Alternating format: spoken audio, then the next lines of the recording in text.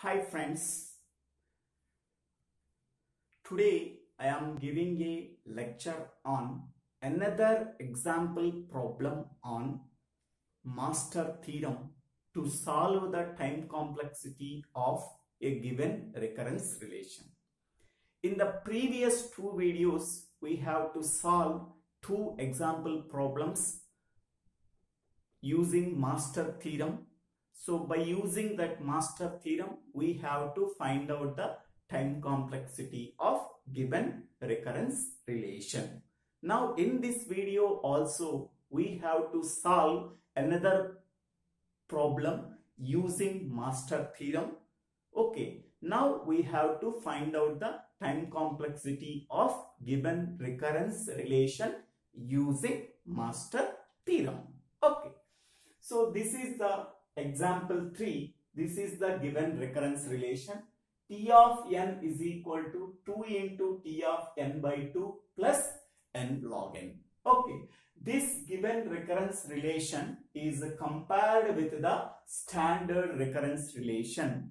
Okay, so now we have to obtain these values. Here, A value is 2, B value is 2, here k value is n power k. So k value is 1 log power p into n. Here p value is also 1.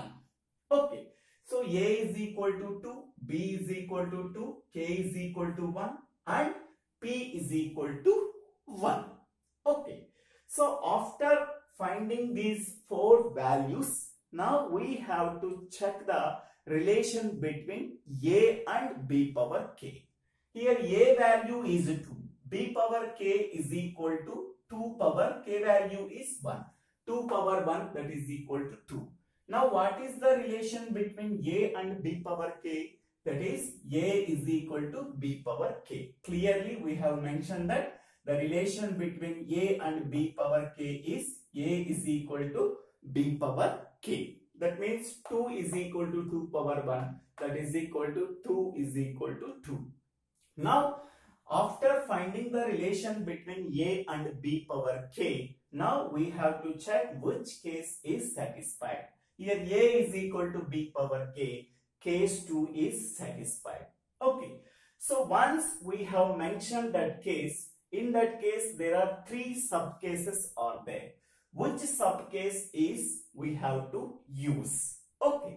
So it is depends on p value. Here what is the p value? p is equal to 1. p is equal to 1 is nothing but p greater than minus 1. Here 1 greater than minus 1 that is 2. p value is 1. 1 greater than minus 1. So 1 is always greater than minus 1. So then we have to use third case, third subcase. Then T of n is equal to theta of n log b power a into log power p plus 1 into n. So theta of n log b power a log power p plus 1 into n. Now substituting this value, a value to b value to n power log b power a that is 2 power 2 into log power p value is 1. 1 plus 1 into n.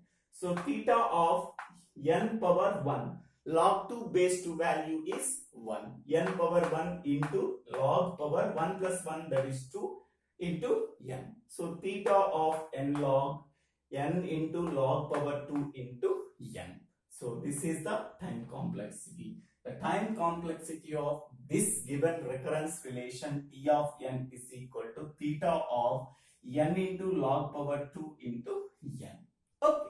So now we go for another example problem in the next video. Okay.